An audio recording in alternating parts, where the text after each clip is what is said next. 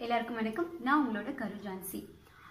First எல்லாருக்கிட்டையும் sorry சொல்லிக்கிறேன். கடந்த சில மாதங்களாக வீடியோஸ் எதுவுமே போடாமல் இருந்தேன் some personal reasons commitments so என்னால் வீடியோஸில் கான்சென்ட்ரேட் பண்ண முடியல. அதனால் வீடியோஸ் என்னால் அப்லோட் பண்ண முடியாமல் இருந்தது. பட் இதுக்கப்புறம் எந்த பிரேக்கும் இல்லாமல் கண்டினியூவாக வீடியோஸ் அப்லோட் பண்ணுவேன். நீங்களும் எனக்கு எப்போ உங்களை சப்போர்ட் பண்ணுங்க அப்படின்னு சொல்லி கேட்டுக்கிறேன். ஓகே இன்றைக்கி நம்ம பார்க்க போகிற டாபிக் என்னென்னு பார்த்தீங்கன்னா சிங்கிள் பேரண்ட்ஸ் என்னம்மா எவ்வளோ நாள் கேப் விட்டுட்டு எடுத்ததும் சிங்கிள் பேரண்ட்ஸ் பற்றி பேசுகிற அப்படின்னு கேட்டிங்கன்னா எஸ் நான் அதை பற்றி பேசணும். அதனால நான் பேசுகிறேன் ஏன்னு கேட்டிங்கனாக்கா ரீசெண்டாக இப்போ ஒரு ப்ரோக்ராம் போயிட்டு வந்திருந்தேன் அந்த ப்ரோக்ராம் வந்து ஃப்ரெண்ட் இன்வைட் பண்ணியிருந்தாங்க. சில இளைஞர் குழு வந்து இந்த சிங்கிள் பேரண்ட்ஸ்லாம் ஆர்கனைஸ் பண்ணி அவங்களுக்கு இந்த மந்த்லி ப்ரொஃபஷன் மாதிரி ஸ்பான்சர் பண்ணியிருந்தாங்க. அது ஒரு குட்டி ப்ரோக்ராம் மாதிரி ஆர்கனைஸ் பண்ணியிருந்தாங்க. ஸோ அவங்க வந்து ஒரு சின்ன மோட்டிவேஷன் ஸ்பீச் கொடு அப்படிங்கிற மாதிரி என்னை இன்வைட் பண்ணியிருந்தாங்க.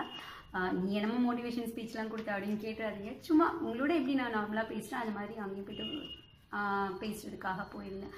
பட் அங்கே போயிருந்தப்ப அவங்களெல்லாம் பார்த்து நான் ரொம்பவே இன்ஸ்பயர் ஆன மோட்டிவேஷன் ஆனேன் அப்படின்னு சொல்லலாம். ஏன் அப்படின்னு கேட்டிங்கன்னா ஒவ்வொருத்தருமே வந்து அவங்களுடைய லைஃப்பை பற்றி ஷேர் பண்ணும்போது உண்மையே ரொம்ப ஷாக்கிங்காக இருந்தது. யோசிச்சுக்கோங்க. சென்னையில் வந்து நம்ம வாழ்கிறோம் அப்படின்னாக்கா ஒரு வாடகை வீட்டில் இருக்கிறவங்க இந்த வீட்டுக்கு வாடகை கட்டி ஒரு அம்மா அப்பா ரெண்டு பேருமே வேலை செய்வாங்க. சில இடத்துல அப்பா மட்டுமே வேலை செய்வாங்க.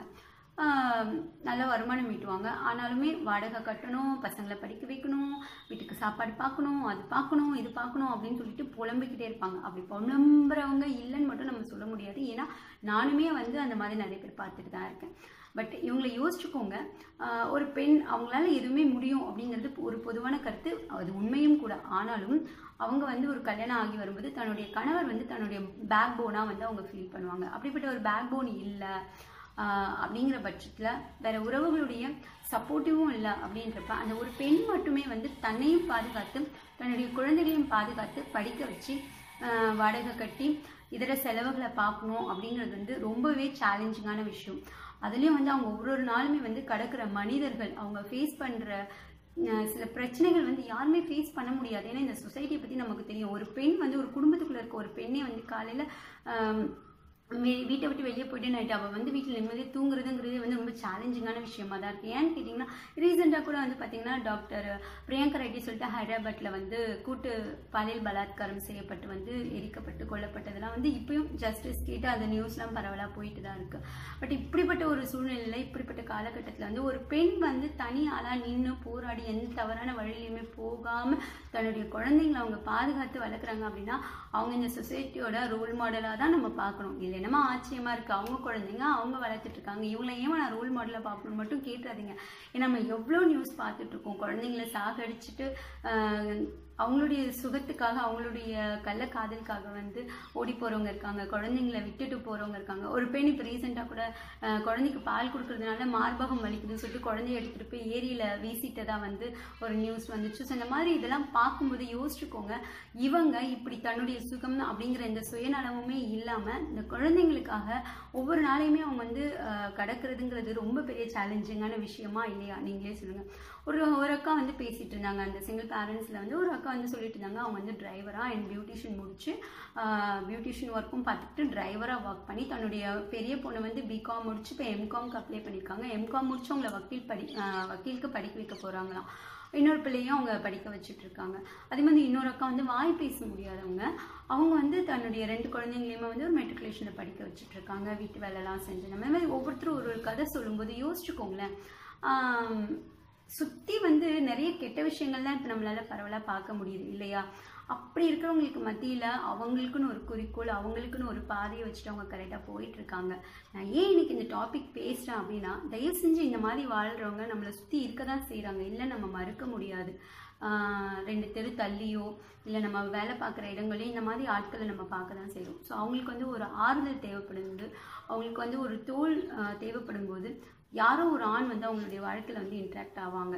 ஸோ உடனே அவங்க எமோஷ்னலாக இவங்க கொட்டுறப்ப என்ன பண்ணுறாங்க அதை வந்து சரியான முறையில் அவங்களுக்கு சாதகமாக மிஸ்யூஸ் பண்ணுறவங்க தான் இங்கே அதிகபட்சமாக இருக்காங்க. ஸோ இப்படிப்பட்ட நபர்கள் நீங்கள் பார்த்தீங்கன்னா தயவு செஞ்சு இந்த மாதிரி பெண்களை மிஸ்யூஸ் பண்ணாதீங்க. ஏன்னா சுற்றி குப்பைக்கு நடுவில் ஒரு நல்ல விஷயம் வருதுங்கிறதே வந்து பெரிய விஷயம். அவங்கள அப்படியே விட்டுருங்களேன். அப்படிப்பட்டவங்க கிட்டேருந்து வர பிள்ளைங்க அவங்களால வளர்க்கப்படுற பிள்ளைங்க இந்த சொசைட்டிக்கு உண்மையாகவே ரொம்ப பெரிய பெரிய பெரிய சப்போர்ட்டிவான பிள்ளைங்களாக தான் வளர்ந்து வருவாங்க.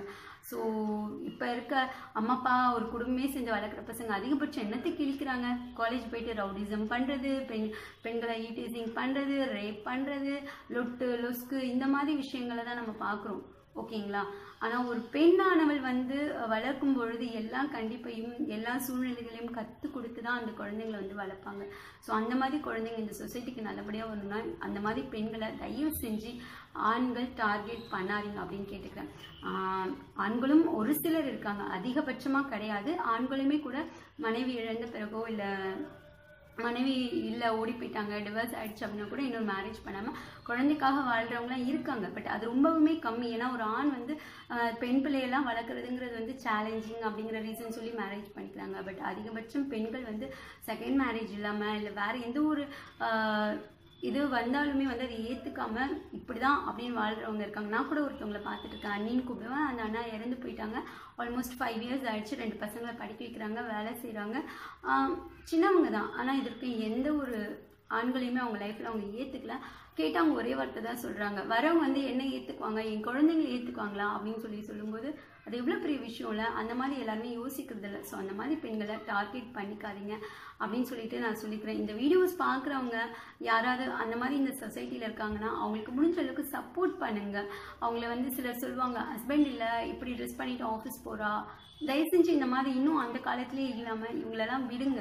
அவங்களோட ஒர்க்குக்கு அவங்க எப்படி போகணுமோ அப்படி தான் போக முடியும். ஹஸ்பண்ட் இல்லைங்கிறதுக்காக இன்னும் எடுத்து போத்திக்கிட்டே அவங்க போய் ஆஃபீஸில் வேலை செய்ய முடியாது. ஸோ இந்த மாதிரி அன்னெசரியான டாக்கிங் உங்கள் மனசளவில் அவங்கள வந்து புண்படுத்துறது இல்லை இந்த மாதிரி ஆண்கள் வந்து அவங்கள ஃபாலோ பண்ணுறது குழந்தைங்கள டார்கெட் பண்ணி அவங்கள டார்ச்சர் பண்ணுறது இந்த மாதிரியெல்லாம் நிறைய நடக்குது. ஸோ இப்படிப்பட்ட விஷயங்கள் பார்த்தா தயவு செஞ்சு மக்கள் வந்து குரல் கொடுக்கணும் அப்படின்னு சொல்லி கேட்டுக்கிறேன். ஸோ எனக்கு இன்றைக்கி இந்த விஷயத்தவங்க கூட ஷேர் பண்ணது ரொம்ப சந்தோஷமாக இருந்தது. நாங்கள் போய் பேசின வீடியோ வந்து ஆக்சுவலி என்னோட மொபைலில் நான் கேப்சர் பண்ணலை. அங்கே இருந்தவங்க எடுத்ததாக சொன்னாங்க ஃப்ரெண்ட்ஸ் சொன்னாங்க. ஸோ எனக்கு அந்த வீடியோ கிடச்சிதுன்னா அவங்களோட நான் கண்டிப்பாக ஷேர் பண்ணிக்கிறேன்.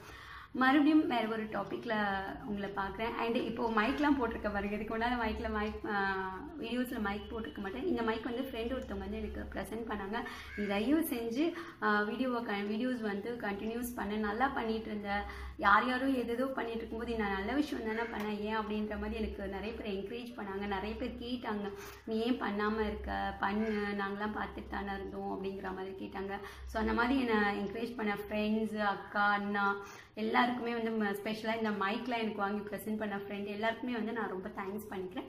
மறுபடியும் வேறு ஒரு டாப்பிக்கில் உங்களை பார்க்குறேன். அது வரைக்கும் நான் உங்களோட கரு ஜான்சி.